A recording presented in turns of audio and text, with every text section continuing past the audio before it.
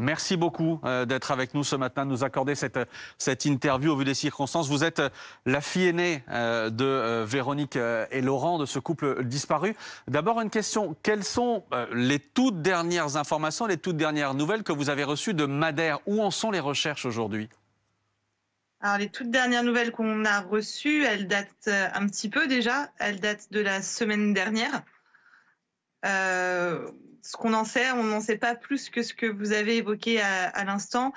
Euh, qu'ils ont utilisé les drones, les chiens, les bateaux, de enfin, les bateaux avec les sauveteurs en mer, euh, qu'ils ont fait borner le téléphone, qu'ils ont utilisé les caméras de surveillance des, des commerces et des particuliers.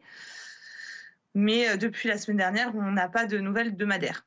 Et vous avez le sentiment que les recherches se poursuivent sur place ou que, euh, de fait, le dispositif a été allégé?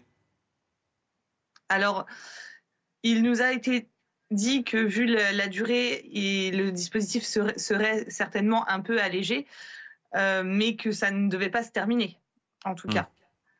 Pauline, quel scénario, est-ce que, quel scénario est-ce que vous avez en tête ce matin?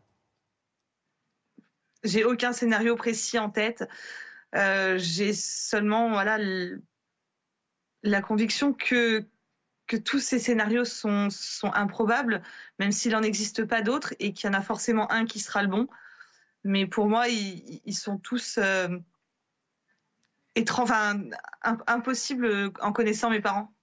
C'est-à-dire, euh, si on vous dites ces scénarios, euh, on, sait qu'on a parlé, euh, par exemple, d'une chute, on a parlé d'une disparition volontaire. Tout ça ne colle pas pour vous? Pourquoi? Bah, La disparition volontaire, ça, ça colle pas. Ils n'avaient aucun souci, ni financier, ni, ni avec des personnes. enfin, mon conjoint et moi, on vient d'être parents, donc ils étaient grands-parents pour la première fois. ils en étaient très contents. donc ça, c'est pas, c'est pas possible à mon sens. Et la chute, euh, vu ce que j'en sais, enfin, ils étaient censés juste se promener, pas, pas aller sur des sentiers escarpés, euh, aller n'importe où où ça, ça, pouvait être dangereux pour eux. Après, rien, enfin, rien n'est impossible, mais ça me semble quand même assez peu probable. Comment est-ce que vous vivez la distance, vous, le fait d'être ici, en France, que les recherches se fassent là-bas, au large du Portugal, à Madère? Comment est-ce que vous vivez cette distance-là? Bah, c'est difficile parce que déjà c'est un pays étranger, même si ça fait partie de l'Union européenne, euh, qu'on ne parle pas la langue, enfin que moi je ne parle pas la langue, euh, que euh, bah, on n'a pas la capacité de se déplacer, et puis si on se déplaçait de toute façon, on serait certainement plus gênant qu'autre chose, parce qu'ils ont besoin de, tout l'espace nécessaire pour, pour faire leurs recherches, et ils n'ont pas besoin de nous dans leurs pattes. Mmh. Euh, c'est pas quelque chose de, simple. En fait, on a l'impression de, de, ne servir enfin, de ne pas servir à quoi que ce soit. On, aimerait, euh, on aimerait pouvoir faire, enfin, on aimerait faire tout ce qu'on peut, mais en même temps, bah, on n'a pas de, on n'a pas beaucoup de marge de manœuvre pour faire quoi que ce soit. Est-ce que vous avez le sentiment d'être aidé par les autorités françaises? On sait qu'il y a une enquête qui est ouverte en France. Est-ce que vous avez le sentiment d'être aidé?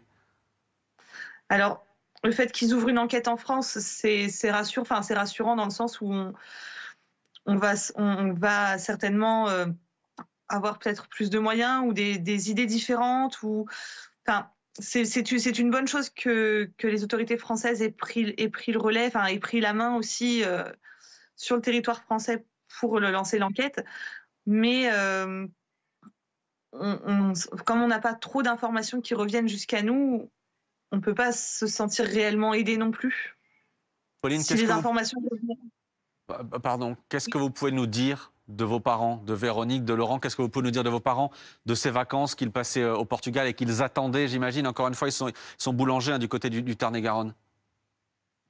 Qu'est-ce que je peux vous dire d'eux? Euh, C'est des, des, personnes remarquables. Après, je ne suis pas très objective, c'est mes parents. Euh, et ces vacances, c'était, enfin, ils en prennent deux fois par an des vacances ils les attendaient, ça, devait leur faire du bien, ça devait être un beau voyage. Eux qui aiment voyager. Et finalement, euh, ça se finit quelque part euh, de manière un peu dramatique. Hmm. On sait que, je le disais, il y a une enquête qui est ouverte, il y a des perquisitions qui ont été menées euh, chez vos parents. On est allé voir chez vos parents s'ils avaient pu laisser une trace, une explication, le moindre texte, etc.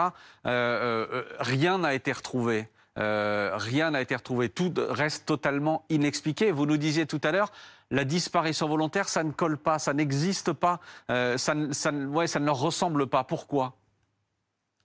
Eh bien, parce que parce qu'il n'avait vraiment aucun problème, euh, enfin à, ma connaissance en tout cas, il n'avait aucun problème, rien qui ne pouvait justifier de, vouloir disparaître. Euh, ils, étaient, heureux, ils étaient, euh, enfin tout fonctionnait bien dans leur commerce, la vie leur souriait à ce moment-là. Hmm. Votre petite sœur était avec eux euh, là-bas à Madère. Euh, elle est rentrée en France, euh, si j'ai bien, si bien compris. qu'est-ce qu'elle vous dit, elle? Qu'est-ce qu'elle qu'est-ce qu'elle comprend ou ne comprend pas de la situation de ce qui a pu se passer là-bas? Eh bien, la même chose que moi. Elle, elle, est sidérée. Elle, elle ne, enfin, elle comprend pas que ça ait pu se passer. Qu'est-ce qui a, enfin, il y a rien qui, qui, nous donne une piste, enfin, qui, ni à moi ni à elle, de ce qui a pu se passer. Et euh, des fois, elle se demande euh, avec des si, euh, et si j'étais allée avec eux, est-ce que ce serait, est-ce que ça aurait été différent Et si je leur avais pas proposé ce voyage, c'est c'est compliqué pour elle aussi. Comment est-ce que vous tenez toutes les deux? On tient comme on peut, comme n'importe qui dans ce genre de situation, j'imagine. C'est les nerfs, l'attente, l'espoir, quand même qui, nous fait tenir. Et puis, euh, on tient parce qu'on est soutenu quand même par nos, par nos familles.